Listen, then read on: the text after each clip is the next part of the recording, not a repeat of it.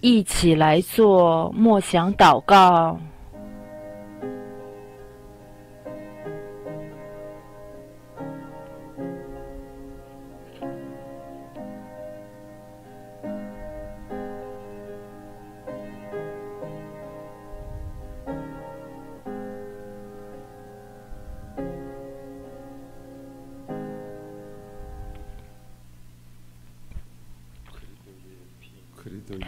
我父啊，求基督的奥秘点亮我们的心灵，使我们获得正确的领悟。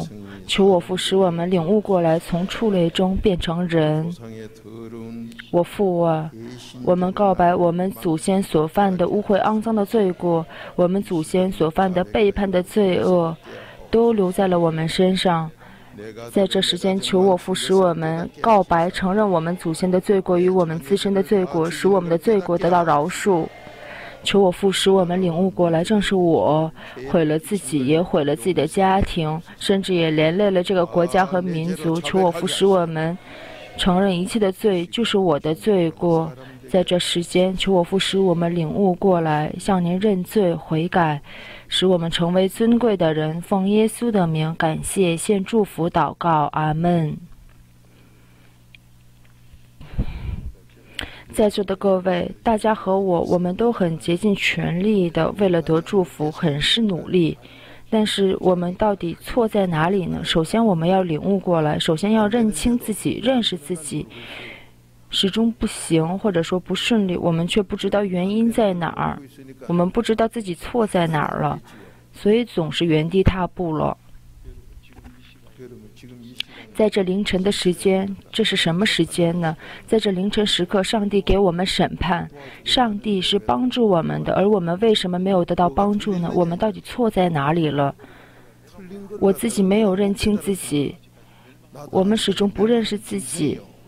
这时候，始终成了灭亡的畜类，成了灭亡的畜类是得不到祝福的。在这凌晨时间，我们来到主面前是做什么的呢？站在眼前的牧者得到的祝福，信徒也能得到。在这凌晨时刻，上帝是帮助我们的。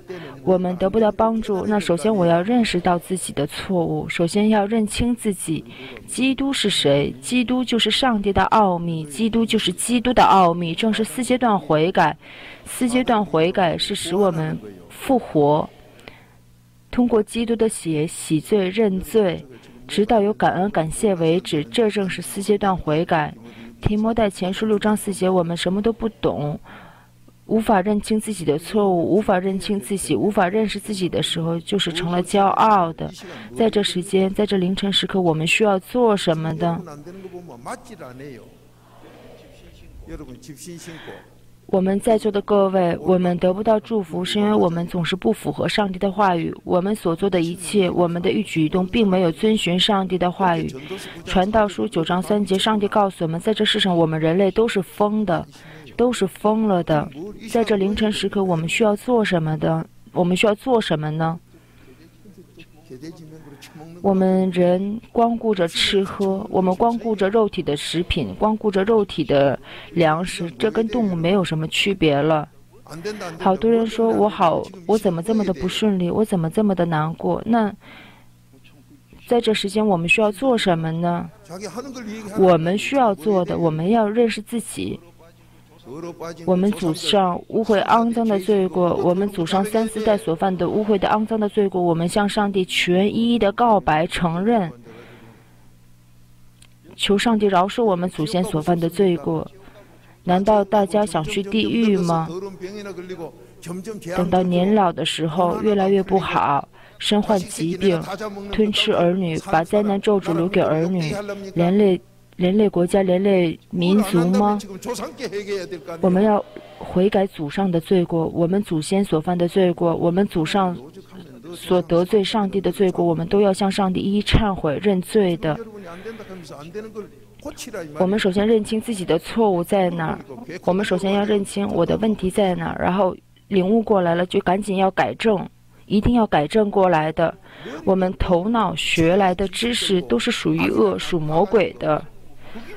在这世上，所谓的博士学位、所谓的教师、老师，头脑学来的知识与学问，都是属于罪恶的，都是属于魔鬼。这是上帝的教导，《雅各书》三章十五到十六节。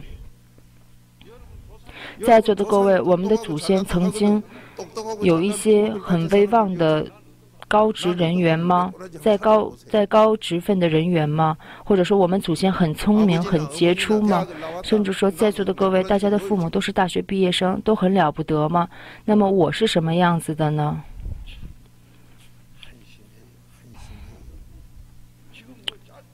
在这短短的时间里。上帝问我们：我们需要做什么？我们却不知道我们该做的是什么。好多人说我做了四阶段悔改好几年了呢。不要自己欺骗自己了，分明是装模作样而已，根本就没有做四阶段悔改呀。为什么我们总是不乐意？一会儿又不乐意，一会儿又生气？这都是我们祖先曾经所做的罪过。所以我们要向上帝悔改我们祖先的罪过，我们祖上所犯的罪过。我朴牧师想跟大家深入的讲一下，但是大家连最基础都还没有领悟呢。上帝的话语是我们的粮食，我们吃在心里了，一定是有功效，一定是有意识的。在座的各位喊不出阿门，这是因为我内心没有属于基督。我不属于基督的时候，和圣经没有任何关系，和上帝也没有任何关系。以弗所说二章十二节。当今很难找到一位真实的人。上帝告诉我们，只要我们成为人，只要我们成了人，上帝就赐予我们一切，甚至赐予我们财富。诗篇四十九篇二十节。而我们呢，始终成了灭亡的畜类，我们就什么都领受不了。属魔鬼的是恶人，属魔鬼的呢？往往自己欺骗自己，却毫无感觉。约翰福音八章四十三到四十四节，被自己欺骗着，还还不以为然，以为没有被骗呢。内心属祖上魔鬼的时候，无法领悟圣经，无法认识圣经，也读不懂圣经，这时候就成了灭亡的畜类。我们以为自己特别懂，其实都是在被自己欺骗了，内心被自己的祖上的魔鬼所欺骗了，我们却没有感觉。那么，作为我朴牧师，我看着大家的状态，我看着不管不讲实话，那就成了假的。上帝的话语是责备，上帝的话语都是爱。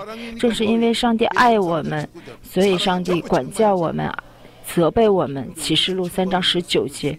而当今好多的教会都在讲。讨人欢心的讲道，讲好听的话。我们曾经去的教会都是假的教会，所以我们要向上帝承认告白我们之前得罪上帝的罪过，求上帝饶恕我们。大家知道，我们的母亲很爱我们，再怎么爱我们，我们做儿女的拿着一个盛狗粮的碗。妈妈会在那种盛狗粮的碗里面给我们盛汤盛饭吗？不会的。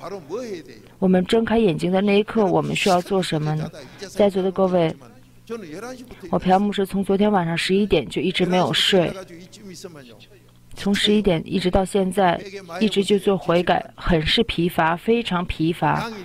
越是做悔改，都会做羊。我们做了四阶段悔改之后呢，就会有一些很奇怪的现象，就是上帝改变我们的体力，上帝改变我们的身体素质。我朴牧师曾经在海兵队的时候，我的胸围是最大的，就是身体是最健壮的。那开始走向牧会生涯之后呢？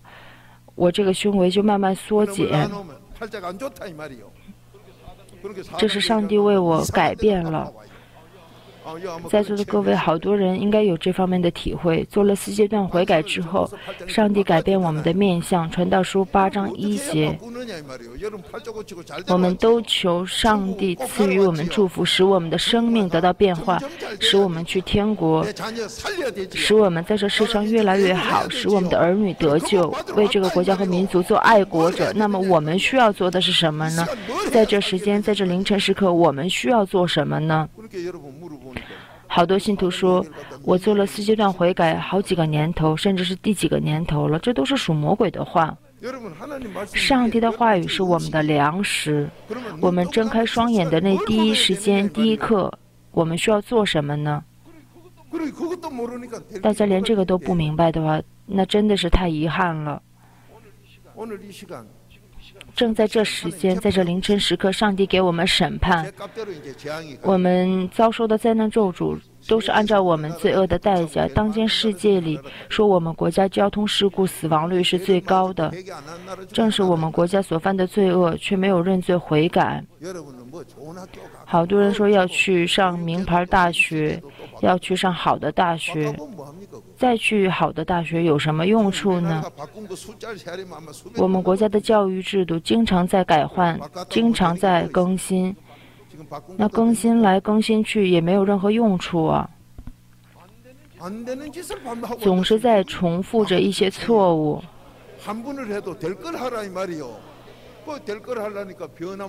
只有真理是让我们能行的。按照我们人类所想出来的，按照我们人类所研究研究出来的，都是走向败坏的。在座的各位内心不开心，内心不喜乐，总是很难过、很痛苦。这都是因为大家的想法让大家难过了。大家为什么总有想法呢？我们的想法是使我们走向败坏的。做了羊是没有任何想法的，只有山羊是有各种各样的想法。总是不行的信徒，分明是总有想法的人。凡是有想法，一定会按照想法如实败坏。所谓杰出的人才是什么呢？就比如说，莎士比亚有很多杰出的作品。那莎士比亚是杰出的人吗？其实莎士比亚很是张狂，很傲慢。那甚至又说。托尔斯泰是苏联的父亲，那托尔斯泰是什么样的呢？托尔斯泰这辈子都没有饶恕他的妻子，临终的时候他的遗言说不留妻子一分钱，这怎么叫是杰出呢？最近，世界最有钱的一位财阀。某位财阀他写下了一个自传，然后被采访的时候，他讲了这么一句话。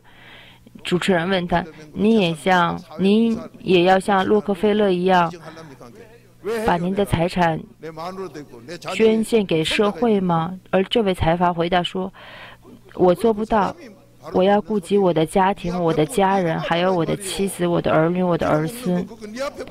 上帝说：“我们每个人的祝福都摆在我们眼前了。我们只要成了人，我们就能得到眼前的祝福，不是图别人的资助的。”托尔斯泰把自己的财富都捐献了社会，捐献给国家了，结果那个国家走向了共产主义，反而更糟糕了。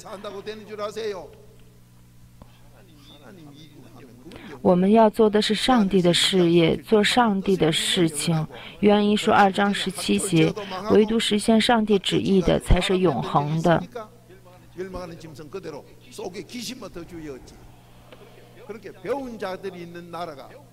往往一个国家败坏的时候，都是因为所谓有学识、有学问的人败坏了这个国家。那就不要学习了吗？不是这个意思。我们学一切的学问，但是学来的学问是需要我们支配管理的，不是被束缚住的。我们人有了力量，大家知道，光成了动物，光有力量就把这个力量使用在欺负软的动物的身上了。那我们睁开双眼的那时刻，首先我们需要做什么呢？我们来找一下诗篇六十八篇。十九节，跟大家讲一次了，那么大家就记录下来吧，记一下笔记。我每天凌晨我睁开双眼的第一时间，我需要做什么？一一的记录下来，直到记录五千句圣经话语。这圣经话语记录下来，都是我需要改正的部分，是我需要悔改认罪的部分。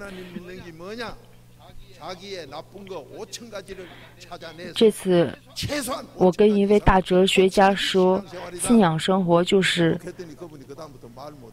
通过上帝的话语认识到自身的罪过，使我的错误得到改正，使我的不好的习惯得到医治。不好的习惯我们是改变不了，只有上帝的恩典改变我们，只有上帝的恩典医治我们。记录一下五千句圣经话语的，就是我们的毕业证书。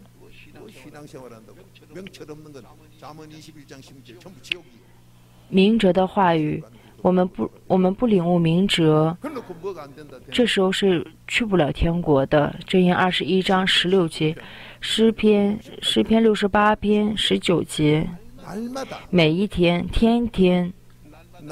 是每一天。我们今天悔改我们的祖上罪了，到了明天呢，还有祖上罪，我们明天还要悔改我们的祖上罪。好多人说悔改一次就够了，上帝说让我们天天悔改，每一天都要向上帝认罪悔改。我们的祖上所犯的一切事情，我们是不知道的。我们生活中的一切的状态，这都是我们祖先所种下的。我们我们祖先所种下的，都留在我们身上，都会体现在我们身上。世上的学问，我学的再多，学的越多，反而就是积攒积攒更多的恶。大家知道，在美国旧金山，好多开餐厅的餐厅老板，往往往往都是。博士学位都有两三个，但是呢，找不到工作，找不到工作，结果就去开餐厅，或者是说去开洗衣房。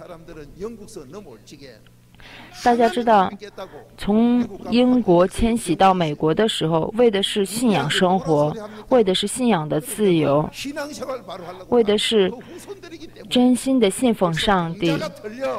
是这么来的美国呀，不是为了赚钱图钱去的美国。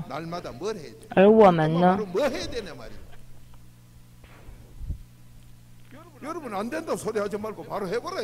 每一天我们需要做的是什么呢？我睁开双眼的那一时刻，我需要做什么呢？我朴牧师从昨天晚上十一点一直睁开眼睛，到现在一直就没有睡。那我睁开双眼，我做什么呀？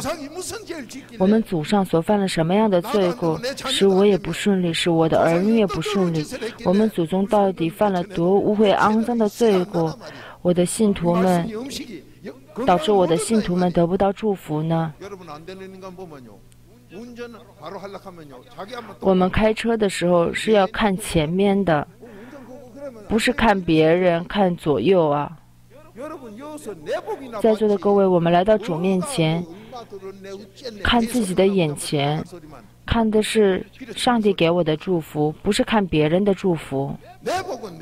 我的祝福永远是摆在我眼前的，《生命记》三章十五节。而我得不到，是因为我祖先的罪过抵挡住了。这是上帝的教导。我的祖先到底犯了什么事情呢？到底做了什么事情得罪了上起上帝呢？这方面是我们需要领悟、需要我们认识的。我们聚在一起，我们坐在一起，我们就要告白。您就是我的镜子，您的模样就告诉我我的祖先所犯了什么样的罪。这是相互的劝勉，相互的教导。而我们坐在一起就随便聊天儿，什么都聊，聊的都是世俗的话。传道传道书七章十节，甚至说我曾经多么多么的好。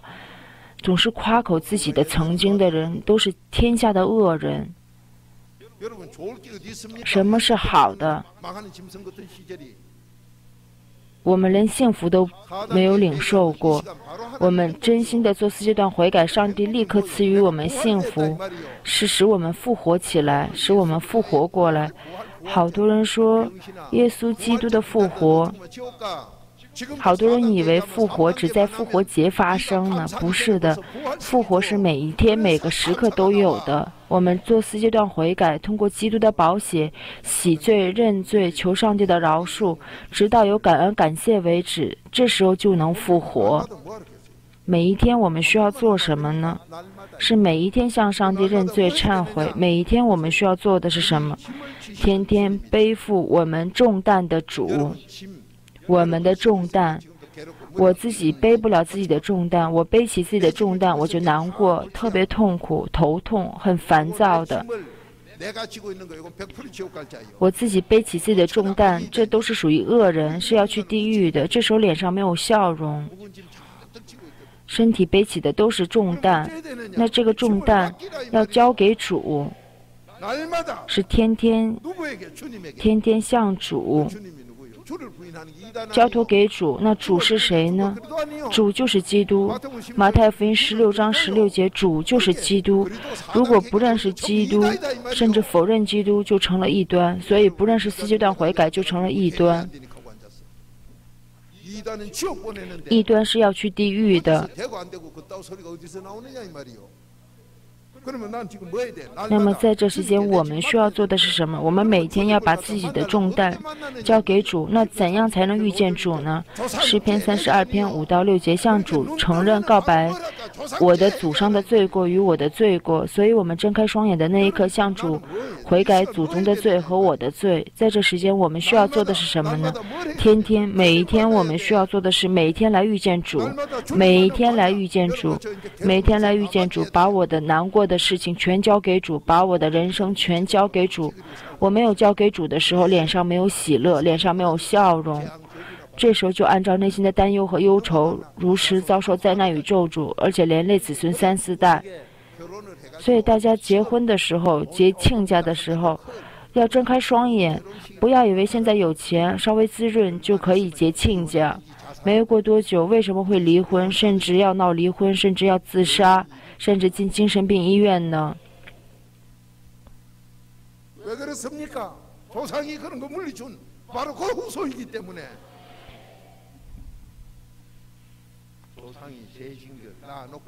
我们祖先所犯的罪过，如果我们不认罪、不悔改的话，祖宗的罪过会害死儿女，害死害死后孙三四代。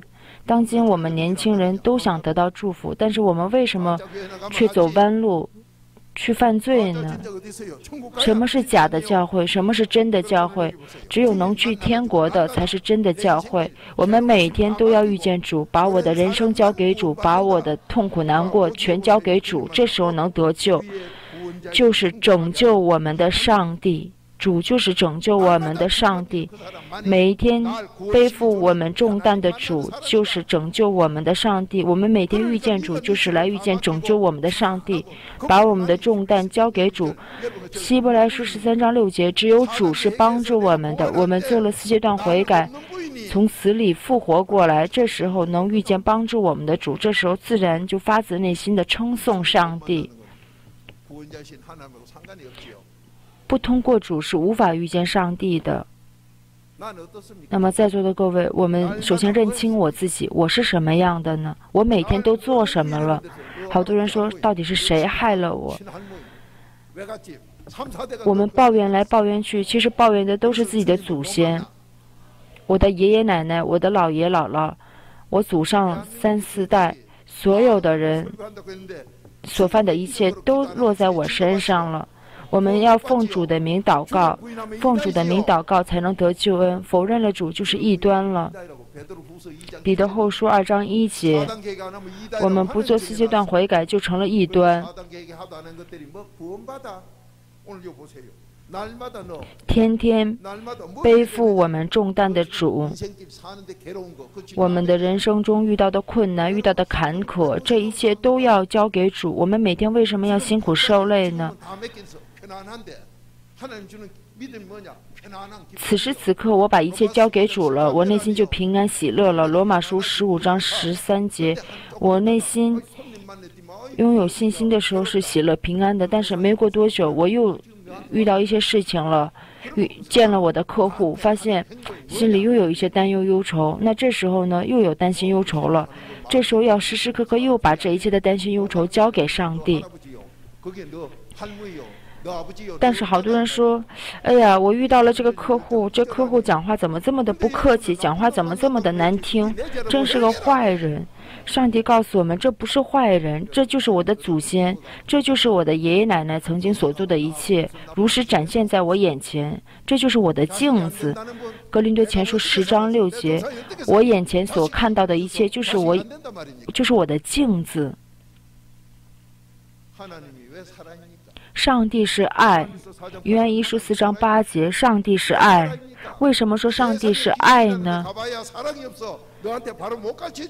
世上的人没有爱，所以不讲实话。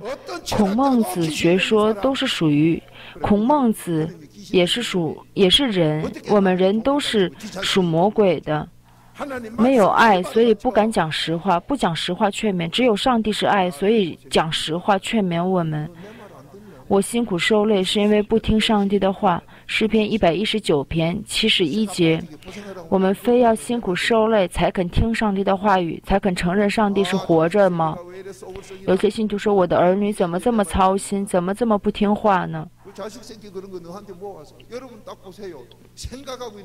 总有想法的人，儿女很是不顺利啊。大家知道，学的越多，忧愁就越多。传道书一章最后一节，学的越多，忧愁也越多。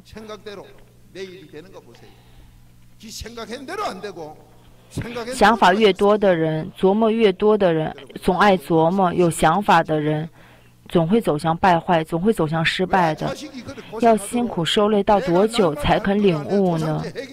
我们每天需要做的就是悔改祖宗的罪过与我的罪过。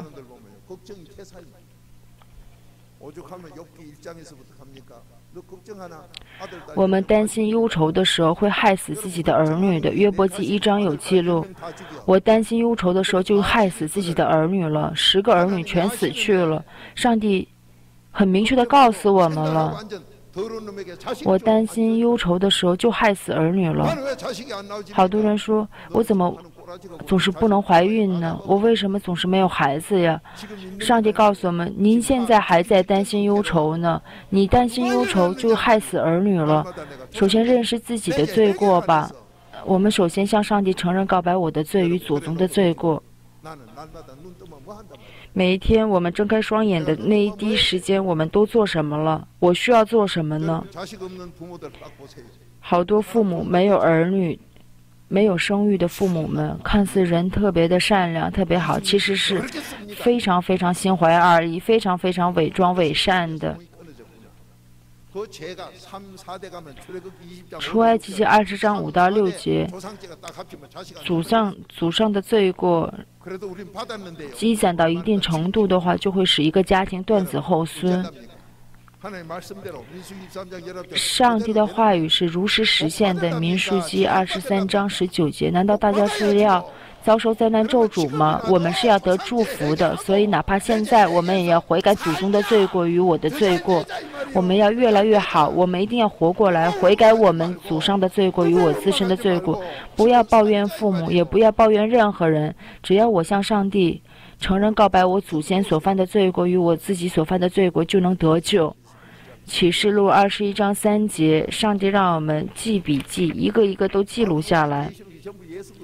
启示录所讲的内容都是耶稣基督，启示录讲的所有的内容都是耶稣基督。圣经的话语，任何一句话语都不能删减，而当今在假的教会，却不认识基督，甚至删减了很多话语，随便删减。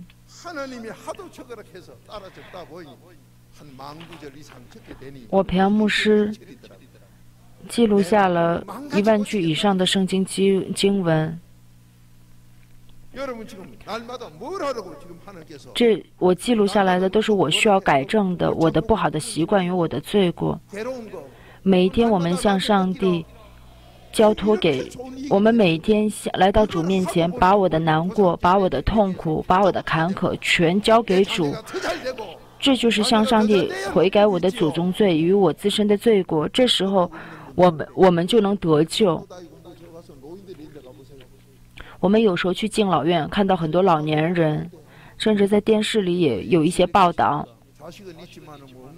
好多老年人说：“虽然我有儿女，但是儿女不管我。”那这都是我自己所犯的罪过，是我的罪恶导致儿女不孝，不怪别人。越是越是老年人没有晚年祝福的，都是因为不信奉主耶稣基督，反而去信奉其他的宗教，追求的是宗教自由。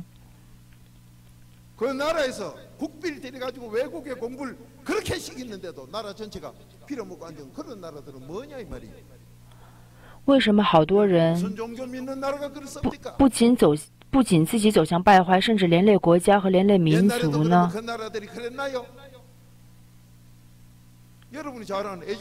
大家知道埃及这个国家曾经在摩西那个时代，埃及是世界最强的国家，算是最强的国家。但是当今怎么沦落到这么贫穷的地步呢？脚脚上也没有脚上也没有鞋子穿，要求联合国的帮助。这都是埃及的祖先所犯的罪过，得罪上帝的罪过。上帝告诉我们，每一天让我们来到主面前，悔改祖宗罪与我们的罪过。诗篇三十二篇五到六节，我们向主承认、忏悔我们祖上所犯的罪过，遇见主。来到教会，只只要遇见主，只有主是帮助我们的。否认主就成了异端。好多人自己不做四阶段悔改，反而还说四阶段悔改是异端。教派都是属魔鬼、属乎肉体，必定要走向败坏的。犹大书一章十九节，属乎教派的，并没有跟随真理，并没有跟随圣经。罗马书二章八节，结党结派的人。上帝给我们讲的都是实话，而我们为什么不听从上帝的话语？今天我们来遇见主。把我人生的难过，把我人生中的痛苦全交给主，每一天向主悔改我祖上的罪过与我自身的罪过。这时候，我的罪恶得到饶恕了，我祖先的罪过得到饶恕了，我内心就能平安，来遇见拯救我的上帝。主就是上帝。马可福音十二章二十九节。所以在这凌晨时刻，我们需要做的是什么呢？我们需要做什么？在座的各位，我朴牧师很坦白的跟大家讲，大家真的都是山羊，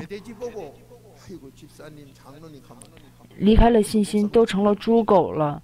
成了猪狗的人，我怎么能讲敬语对待呢？上帝说了，我们离开了信心就是猪狗了，就成了猪狗。这时候没有什么职分，哪有什么职分？属魔鬼的人。来不到我们教会，人是要吃人饭的。约翰福音八章四十七节，属于上帝的人听上帝的话语，做四阶段悔改，通过基督的血洗罪认罪之后来吃上帝的话语；而属魔鬼的人不听上帝的话语。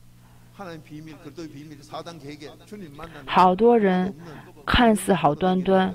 非要去一些没有上帝奥秘、没有基督奥秘的地方听讲道，听一些假的讲道。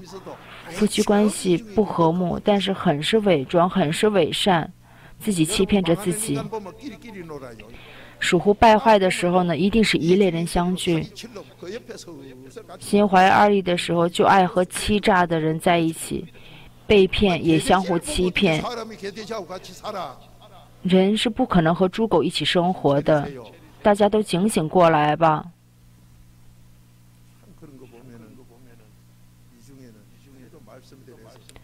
在座的各位，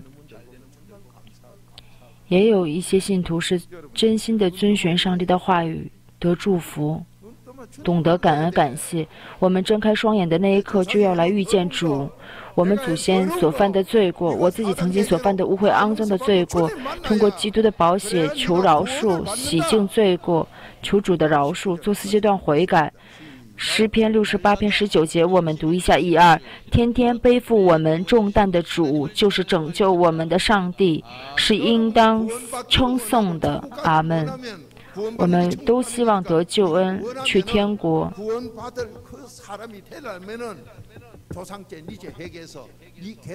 我们要向主悔改我们祖上的罪过与我的罪过，把我的人生忧愁难过的地方全交给主。有主引导我们的心灵，只有主引导我们的心灵。这时候我内心是充满感恩、感谢、充满喜乐的，是平安的。只有主引导我们的心灵，只有主是帮助我们的。只有通过主使我们遇见上帝，通过主使我们得到圣灵的帮助，我们不可能直接得到上帝的帮助，或者是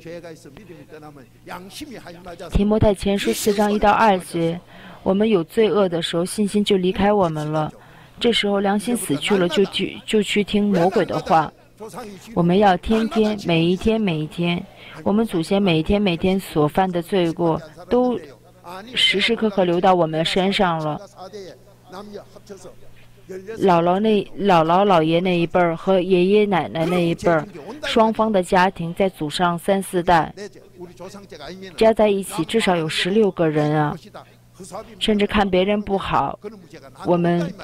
看着别人不好的时候，我们特别的心里高兴，心里是个滋味儿。说别人不好就是活该，甚至做个小稻草人，做个小稻草人，整天揍住别人，刺伤别人，看不得人好，总是在咒住别人，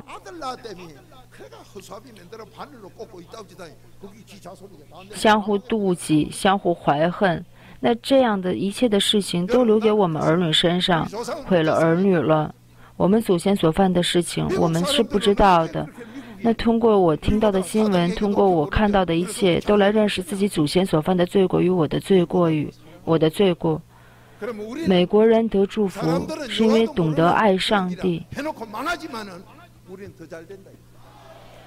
那么，我们这四阶段悔改的所有的信徒们，我们认识耶和华，我们求基督的血洗罪认罪。我们睁开双眼的那一刻，向主悔改我们祖宗的罪过与我的罪过，使我们得祝福。我们呼喊阿门。诗篇六十八篇十九节，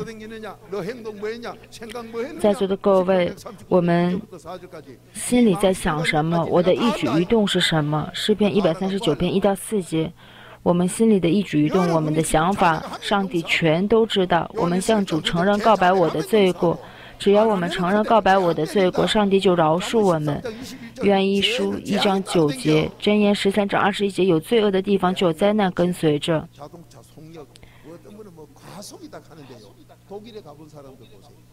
大家知道，去过德国的人就应该知道，当时我们的车开的是二二百公里。旁边的车都能开到二百五十公里，而我们韩国肯定不敢开，不敢开二百公里时速。而韩国的交通交通事故是最频繁、最多的，为什么会这样呢？大家知道，德国真的是按照上帝的话语生活的一个国家。在德国买了房子呢，买了房子之后不能随便刷漆。我邻居家喜欢什么颜色，按照邻居的心愿来刷自己房子的漆。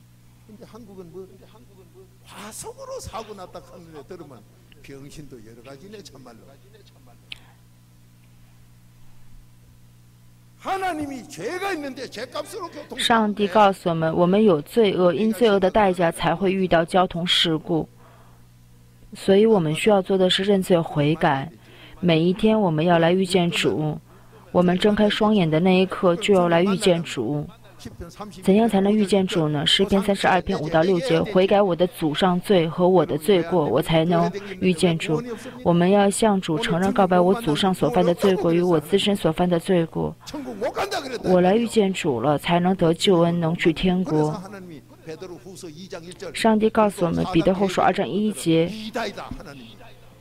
不承认基督、不做四阶段悔改的，这都是属于异端的。彼得后书二章一节。当今的教会有没有通过基督的血洗罪认罪呢？还是说，当今的教会是不是在借用耶稣的名出卖耶稣呢？结党结派的都是属于地狱的。罗马书二章八节，结党结派的时候并没有跟随真理。犹大书一章十九节，在座的各位，在这讲道的时间，大家在打盹不喊阿门，这都是属于魔鬼呀。当今好多教会也不要求信徒呼喊呼喊阿门。以弗所说二章十二节，我们进入到基督里，呼喊阿门的时候，才能领受上帝的话语。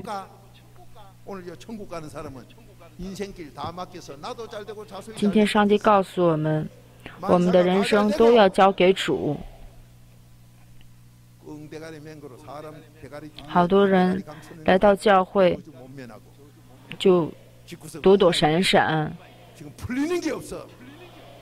不敢不光明正大的行行事，甚至喊不出阿门的。喊不出阿门的，这都是没有属于基督的表现。格林多后书一章二十节，我们要通过四阶段悔改，我们依靠基督的奥秘。认罪洗罪了，我进入到基督里来了，使基督也进入到我心灵里，这时候我才能呼喊阿门。我们没有进入到基督里的时候，跟外邦人是一样的。以弗所说二章十一节，我们成了外邦人，外邦人所献的礼拜都是献给魔鬼了。格林多前书十章二十节，我们一直以来去的都是假的教会，我们却从来没有向上帝认罪悔改，从来没有向上帝忏悔认罪。我们曾经不做四阶段悔改，属于基督外边，属于基督外边的时候，这都这时候跟圣经没有任何关系呀。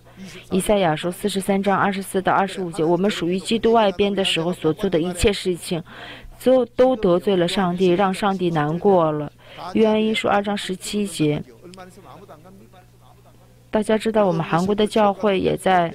缩减，没有基督奥秘的讲道，都是要去地狱的。格罗西书二章八节。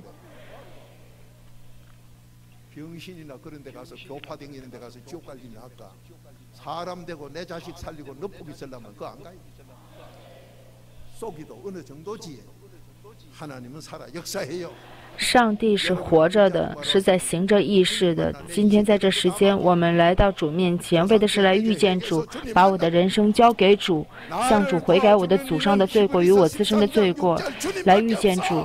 只有主是帮助我们的。希伯来书十三章六节，我们来得到主的帮助，得到主的帮助才能去天国，得到了主的帮助才能得救恩。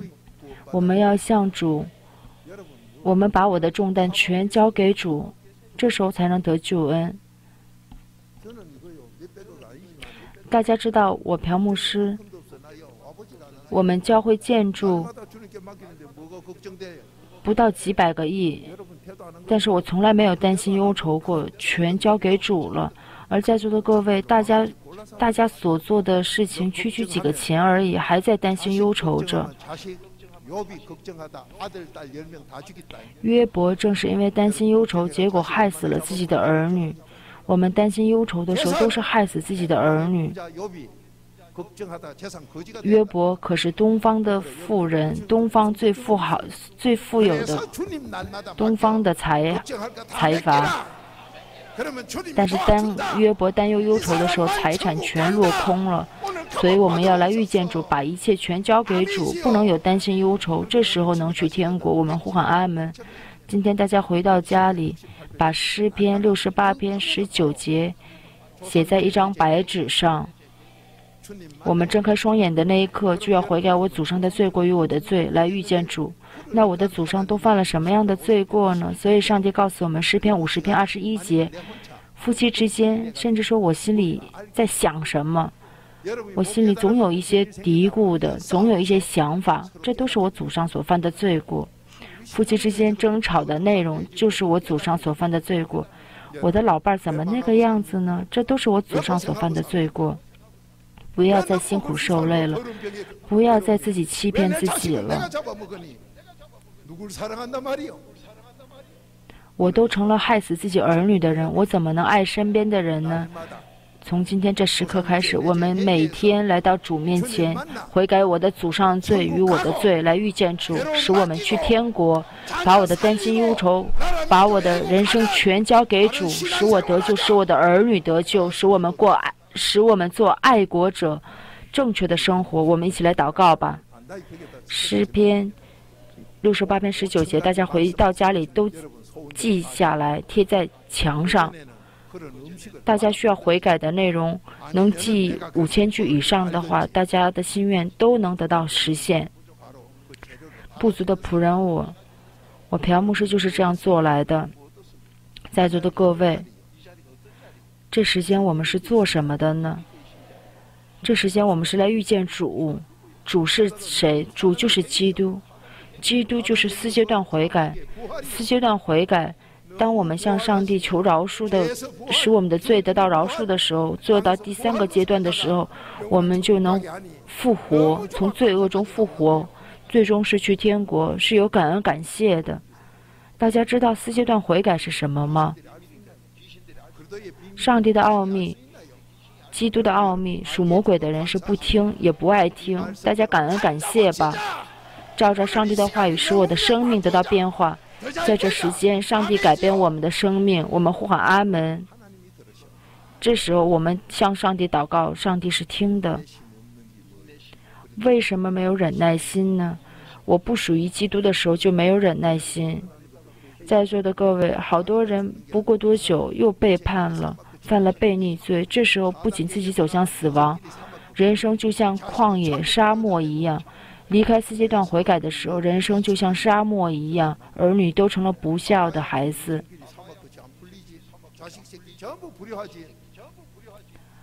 欧洲的教会为什么都走向了落魄呢？好多牧师自己都不明白，自己辛辛苦苦记了很多笔记，然后拿着笔记来读。上帝使用我们的口，不需要我来记笔记。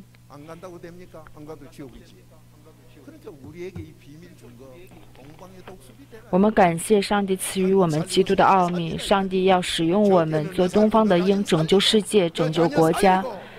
首先拯救自己，拯救自己的家庭，拯救我们的儿女，然后拯救国家，拯救世界。在这凌晨，我们要这样向上帝认罪悔改，来承担起这庞大的事业，做爱国者。我们呼喊阿门，来领受祝福。我们一起来呼喊一二，主啊，主啊，主啊，我父啊。我祖上所犯的罪过，再加上我自身的罪过，我们向上帝一一的告白、承认、认罪，使我们爱上帝。求我父使我们领受上帝的爱。我父上帝，我们真心的感恩感谢于您。我祖上所犯了什么样的罪过，真的是不知羞耻。我们祖上所犯的罪过，导致我的人生不顺利，而我们为什么还不领悟？我们真的是好愚蠢，好愚昧！我的儿女为什么不听话呢？这一切都是因为我的想法太多，总按照我的想法，被自己的想法所困住，并没有把一切全交托给主。从今天开始，求主帮助我们，使我们把一切全交托给主。